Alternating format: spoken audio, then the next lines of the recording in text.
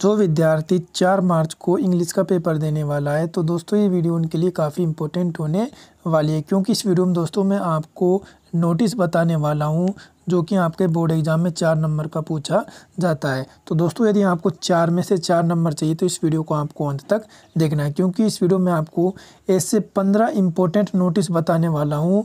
यदि आप लोग इन पंद्रह नोटिसों को तैयार कर लेते हो तो आपके बोर्ड एग्ज़ाम में चार नंबर दोस्तों आसानी से आपको मिल सकते हैं। तो दोस्तों, आज की इस वीडियो में हम बात करेंगे कि आपको बोर्ड एग्ज़ाम में नोटिस कैसे लिखना है और किन किन बातों का आपको ध्यान रखना है। तो सबसे पहले हम दोस्तों फॉर्मेट ऑफ़ नोटिस के ऊपर बात करेंगे कि आपको नोटिस का फॉर्मेट कैसे लिखना है। तो चलिए दोस्तों वीडियो को स्टार्ट करते हैं। तो दोस्तों, अभी तक आपने हमारे चैनल को सब्सक्राइब नहीं किया तो प्लीज़ चैनल को सब्सक्राइब करें और वीडियो को लाइक करें।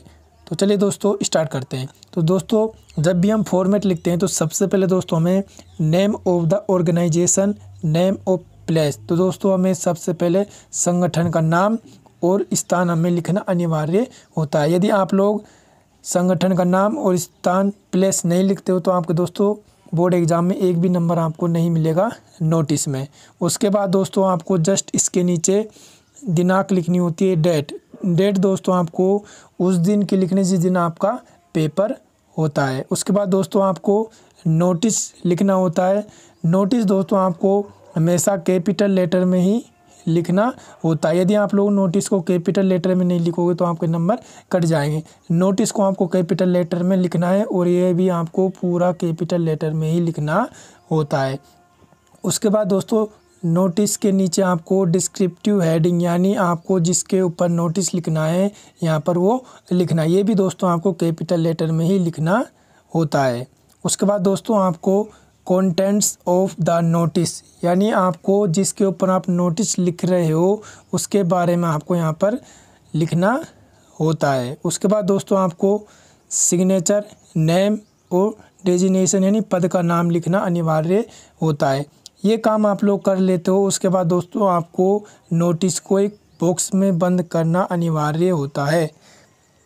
यदि आप लोग नोटिस को एक बॉक्स में बंद नहीं करोगे तो दोस्तों आपके नंबर काट लिए जाएँगे। चलिए दोस्तों, मैं आपको एग्ज़ाम्पल समझाता हूँ कि आपको बोर्ड एग्ज़ाम में नोटिस कैसे लिखना है। तो दोस्तों, ये आपका एक नोटिस है। पहला क्वेश्चन इसमें you are Neeraj Surendra study in government senior secondary school आका सर।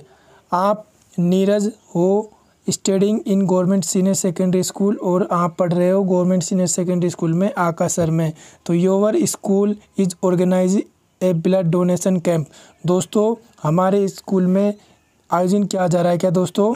ब्लड डोनेशन कैंप तो दोस्तों, आपको नोटिस लिखना है दोस्तों ब्लड डोनेशन कैंप के ऊपर। उसके बाद दोस्तों, आपको नोटिस कैसे लिखना है? तो चलिए दोस्तों, देखते हैं। तो दोस्तों, सबसे पहले आपको यहाँ पर नेम ऑफ़ द ऑर्गेनाइजेशन का नाम लिखना होता है। तो दोस्तों, यहाँ पर नाम क्या है? गवर्नमेंट सीनियर सेकेंडरी स्कूल तो हमने यहाँ पर लिख दिया दोस्तों गवर्नमेंट सीनियर सेकेंडरी स्कूल, ये आपको दोस्तों कैपिटल लेटर में ही लिखना है।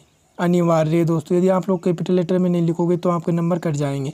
उसके बाद दोस्तों आपको नेम प्लेस, ये हमने यहाँ पर दोस्तों प्लेस लिख दिया। उसके बाद दोस्तों आपको डेट लिखनी यानी दिनांक। दिनांक दोस्तों आपको उस समय की लिखनी जिस दिन आपका एग्ज़ाम हो। उसके बाद दोस्तों आपको नोटिस लिखना है, ये भी आपको दोस्तों कैपिटल लेटर में लिखना है।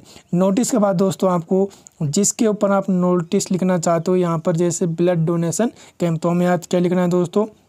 ब्लड डोनेशन कैंप ये भी आपको दोस्तों कैपिटल लेटर में लिखना होता है। उसके बाद दोस्तों आपको क्या करना है? जब आप ब्लड डोनेशन कैंप लिख लेते हो, उसके बाद आपको जस्ट इसके शुद्ध में ही स्टार्ट करना है। कैसे स्टार्ट करोगे दोस्तों?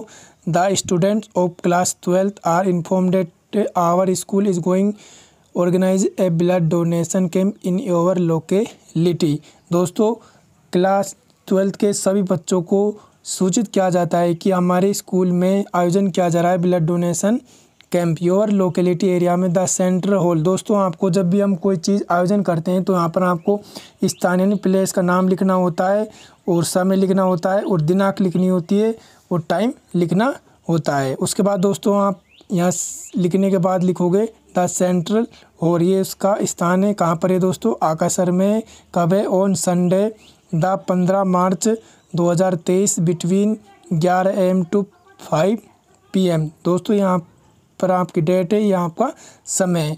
ये आपको अनिवार्य होता है लिखने के लिए। तो it is a also service, it is a social service student who are willing give their names to the undersigned before बारह दिसंबर। जो बच्चा भाग लेना चाहता है, वो बारह दिसंबर से पहले पहले अपना नाम लिखवा लिखवा दे। उसके बाद दोस्तों, आपको यहाँ पर नाम लिखना है सेक्रेटरी स्टूडेंट यूनियन तो दोस्तों बोर्ड एग्ज़ाम में कुछ इस प्रकार आपको नोटिस लिखना है और इसको आपको एक बॉक्स में बंद करना अनिवार्य होता है। दोस्तों, तभी आपको चार नंबर मिलेंगे। यदि आप लोग कुछ गड़बड़ी करते हो तो आपको नोटिस में एक भी नंबर नहीं मिलेगा। तो दोस्तों, इस प्रकार आपको बोर्ड एग्ज़ाम में नोटिस लिखना होता है। उसके बाद दोस्तों सेकंड प्रश्न है आपका, ये दिया हुआ है दोस्तों आपका गांधी जयंती के ऊपर कि आपको दोस्तों गांधी जयंती के ऊपर नोटिस कैसे लिखना है। दोस्तों, यहाँ पर भी नेम ऑफ़ द ऑर्गेनाइजेशन संगठन का नाम है गवर्नमेंट सीनियर सेकेंडरी स्कूल कस्बा, डेरा। उसके बाद आपको दोस्तों यहाँ पर दिनांक है फिर नोटिस लिखना है, फिर जिसके ऊपर आपको नोटिस लिखना है, यहाँ पर आपको लिखना होता है। इस प्रकार आपको दोस्तों नोटिस लिखना है। नोटिस लिखने के बाद आपको एक, इसको एक बॉक्स में बंद करना होता है। यह आपका गांधी जयंती के ऊपर हो गया। तीसरा है दोस्तों आपका चिल्ड्रन डे यानी बाल दिवस के ऊपर है। ये भी इस प्रकार आपको नोटिस लिखना है। यदि दोस्तों आपको क्वेश्चन में कोई स्कूल का नाम नहीं दिया हुआ हो तो आप दोस्तों अपने मन से कुछ भी स्कूल का नाम लिख सकते हो। उसके बाद आपका दोस्तों चौथा क्वेश्चन है साइंस फेयर वाला। ये भी आपका इंपॉर्टेंट दोस्तों साइंस फेयर वाला वैज्ञानिक मेला। इसको भी आपको ज़रूर तैयार करना है।